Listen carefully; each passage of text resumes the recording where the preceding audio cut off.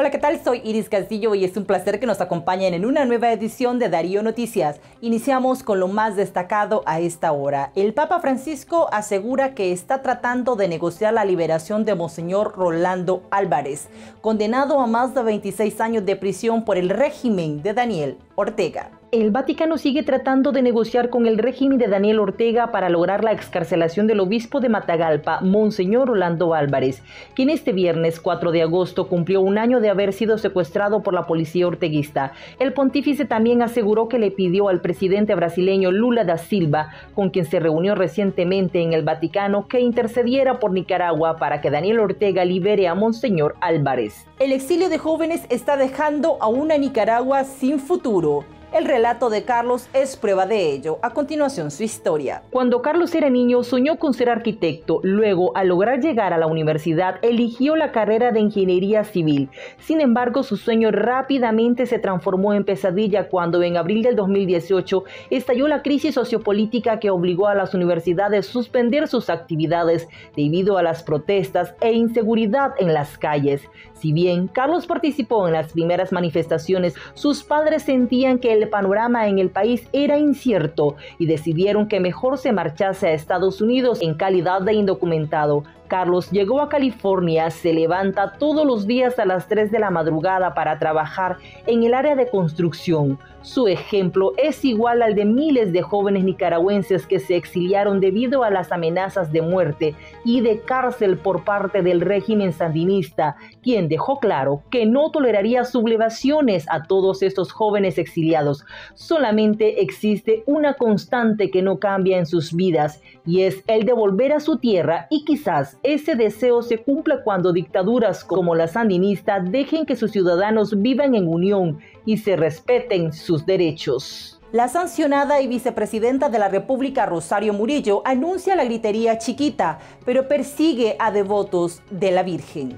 En medio de la persecución que vive la Iglesia Católica en Nicaragua, la vocera del régimen sandinista Rosario Murillo anunció que se están preparando para celebrar en grande a María Santísima durante la gritería chiquita el próximo 14 de agosto. Murillo, quien se declara devoto de la Virgen, expresó el miércoles que Nicaragua es de María y que se celebra en amor a la patria. Capturan a joven que cobardemente macheteó a su pareja frente a su hija y lo acusan de femicidio frustrado. Jaden Francisco Aguilar, de 21 años, fue detenido la noche del pasado miércoles por homicidio frustrado en la comunidad El Guayabal del municipio de Nagarote, en León. Aguilar es acusado de propinar cinco machetazos a su pareja Tania Yubeli Aguilar, de 22 años, la noche del 25 de julio, en la comunidad donde fue detenido. Según testigos, él llegó a la vivienda de la joven y después de una discusión, le dio varios machetazos en la espalda y el rostro.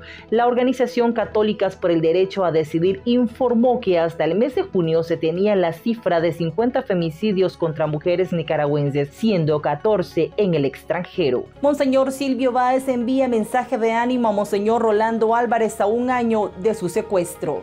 El obispo auxiliar de Managua, Silvio Báez, que se halla en el exilio, le envió un mensaje a Monseñor Rolando Álvarez a un año de su secuestro pidiéndole al Señor que a través de sus misteriosos caminos que no son los nuestros, te haga percibir el cariño y la cercanía mía y de los nicaragüenses que te aman.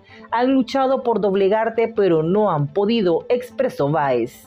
Pedimos tu libertad, sobre todo en la oración. El pueblo de Dios te ama, te recuerda y reza por ti continuamente. Yo lo hago cada domingo en la Eucaristía Dominical. Confiamos en la palabra de Jesús, quien nos ha dicho, pidan y Dios les dará. No dudamos que nuestro Padre, el Dios de la vida y de la liberación, escuchará nuestra plegaria. Y es momento de hacer un enlace con nuestro colega Miguel Mendoza para que nos brinde un breve avance sobre Darío Deportes. Adelante, Miguel.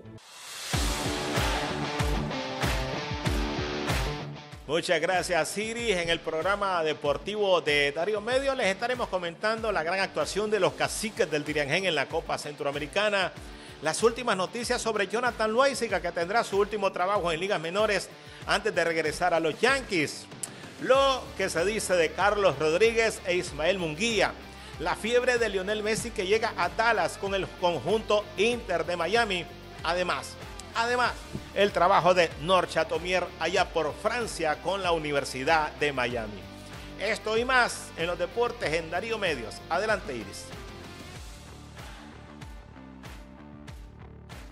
Muchísimas gracias Miguel y nosotros continuamos con más porque vamos a presentarle otro extracto de la entrevista en exclusiva que le brindó el excarcelado político y aspirante a la presidencia de Nicaragua Félix Maradiaga a nuestro director Aníbal Toruño. En este nuevo extracto Félix se refiere sobre los desafíos que tiene la oposición para unirse.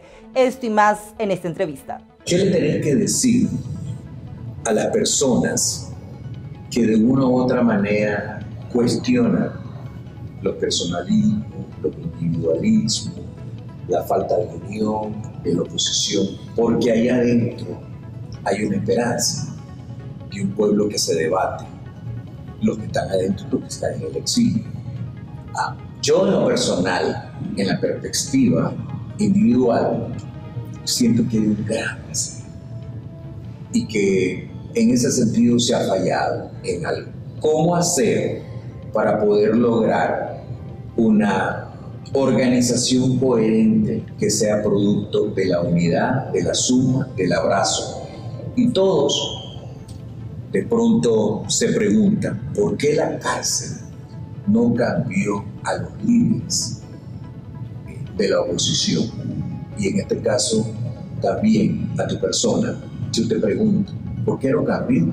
¿Por qué no hay un resultado más inmediato de que podamos ver en una foto, en una foto que habla por mil palabras, la unión de 11. Ustedes son 11, ¿no? 11, 12, 13, puede sumar. ¿Por qué no? ¿Por qué no se puede? Mira, yo no puedo hablar por los demás. Eh, uno solo puede hablar por sus propias responsabilidades. Yo lo que siento es que la cárcel sí nos cambió mucho. Yo sí siento que hay una comunicación, una fraternidad bien fluida con un grupo de presos políticos, con los que tenemos una, una comunicación eh, eh, permanente. Yo tengo, voy a decir algunos ejemplos, una comunicación muy fluida con gente como Juan Sebastián Chamorro, con Medardo Mairena, con Violeta Granera, para darte solo algunos ejemplos, que es una fraternidad que, eh, que, es muy difícil de explicar hacia afuera. Ahora, quisiéramos que la foto fuera de 11, 12. Habría que preguntarle a esos otros porque están ahí, pero yo no los puedo buscar. Yo te puedo hablar de mi actitud y la actitud de los que estamos haciendo un trabajo de unidad. Pero quiero contestar a tu pregunta directamente. Yo no creo eh, que es posible una unidad plena. Y ahí vamos a tener que empezar a replantearnos si unidad es que estemos todos en una sola foto o lo que pasa en cualquier otra parte del mundo, como me dijeron varios los diputados. Algo que te va a sorprender. Ustedes son la oposición menos desunida del mundo. La oposición iraní tiene mil pedazos, la oposición cubana tiene mil pedazos, la oposición venezolana, mira, Ejemplo concreto, ¿con cuántos votos se aprueba una resolución del Parlamento Europeo? Se aprueba con 600 votos más. ¿Por qué? Porque llegan grupos de derecha, de centro, de izquierda, es cierto, separados, pero con el mismo mensaje. Las resoluciones de Cuba y Venezuela no logran aprobarse porque solamente hay relaciones de un sector de la oposición con un sector de los eurodiputados. Entonces, yo creo que hay cierto fetiche de la unidad, que nos quieren ver a todos, y te digo una cosa, a ver, vamos a usar casos concretos. Grupos que, por ejemplo, apelan a la violencia armada. Por mucho que queramos, no lo vas a ver en la misma foto conmigo.